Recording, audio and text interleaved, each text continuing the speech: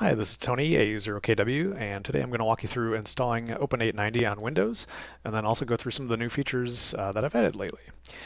Uh, so the first thing you want to do is uh, to download Open 890 is uh, go get it from GitHub. So uh, the easiest way is to just search for Open 890 GitHub in your favorite web browser. And you'll see, you'll find it pretty quickly, and once you're there, uh, you know, look on the right side of the page for releases, and the most recent release is always shown in this spot right here. So you can see 006 is the latest release, and I published it about uh, 12 days ago. So click that. If you're on Windows, uh, download the Windows x64.zip file. Uh, the Linux file uh, should work on Ubuntu 20.04. Uh, I'm not sure if it works on other Linux dis distributions though. So uh, if you're on Windows, click the zip file. And I'm just going to open it with my, my, zip file manager here called 7-zip. And for simplicity's sake, I'm just going to extract uh, Open 890 off to my desktop here.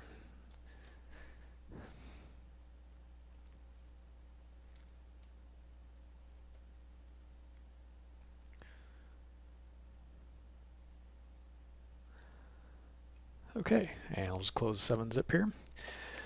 And it's super easy to start. All you need to do is open up Open 890 folder. And you should see an open890.bat file for Windows, and if you're on Linux, uh, .sh file. And if, so if you're on Windows, just go ahead and click the open890.bat. And a terminal should pop up pretty quick here. If all goes well, you'll see that it says access open890 web.endpoint at localhost 4000. So I'm just going to copy that, paste this into my browser. And the first thing you'll do is uh, set up a connection to your TS890. So it's pretty straightforward. All you need to do is name it. I'm just going to give it name of default. IP address is just the IP address of the, your TS890 on the network. And user and password is the KNS user and password that you've set up on the radio. And it's not the main admin account, it's um, when you go into the user list, uh, there's multiple accounts that you can add and create there. Um, I will eventually put a sort of how-to guide on the Open890 wiki that describes that process, but uh, should be able to figure it out. So once you do that, uh, just add your KNS user and password on the screen.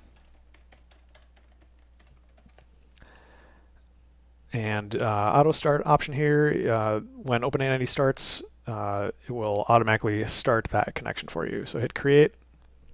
You'll see the connection details and that the connection is stopped. So click start. And when you hit start, you should hear your 890 beep and you see the uh, running message here. And all you need to do is click band scope and you are off and running. Next, I'm going to show you some features that I've added since the last uh, release that I published of Open 890. Um, most notably, uh, you can uh, finally scale the spectrum y-axis, which is something that the TS890 can't do. Uh, and all you need to do is find the little spectrum scale section here, click in the box, and you can mouse wheel up to scale up or scale down if you want to, down to one for some reason. Um, but you can make the vertical spectrum signals a little bit easier to see and it also helps if you set your scope average to 3 really smooths out the uh, spectrum scope. It makes it easier to see.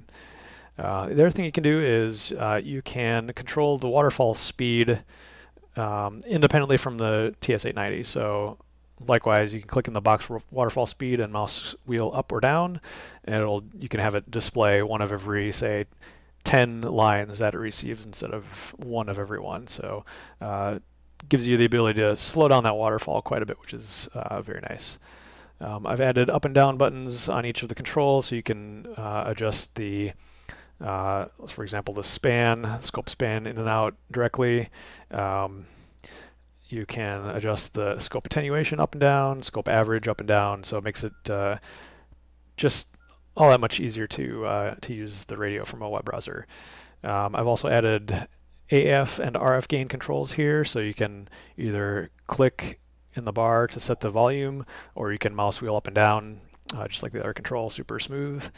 Um, I've also added IF filter info such as the width shift and the roofing filter. So as you control it from the radio, you can see it update uh, all that stuff, that info in real time. And you can also click filter A, B, and C to choose what you want.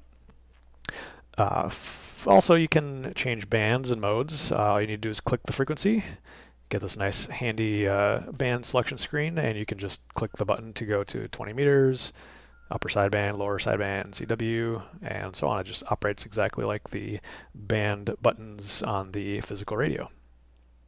Finally, the other feature that I added was the ability to create your own custom macro buttons uh, for scripting uh, control of the radio. So uh, in order to do that, they're not um, they're not enabled by default, but to do that, all you need to do is go into the, your Open890 folder where you extracted it, uh, go into the config folder, and you should see a file here that says example.config.toml.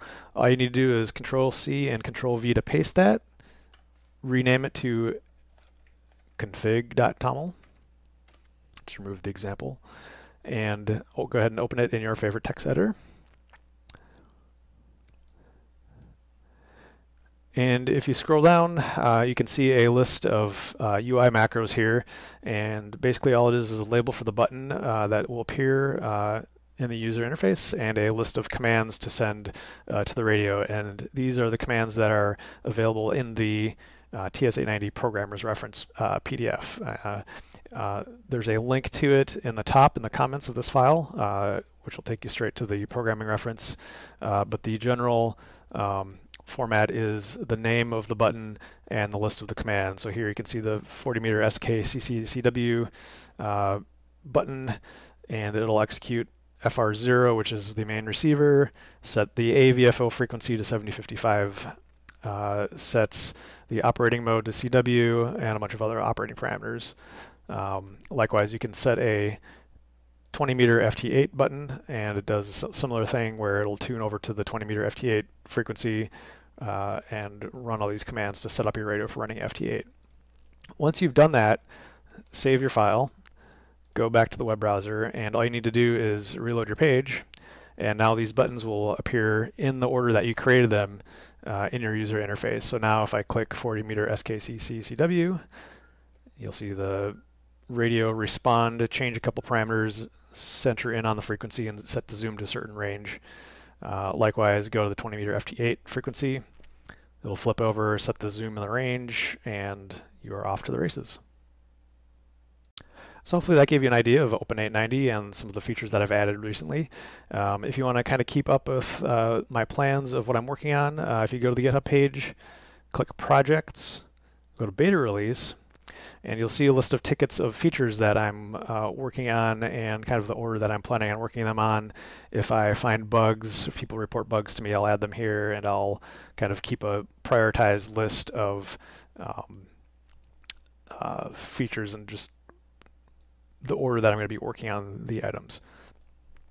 I'm also active on the Kenwood TS890S uh, group.io group.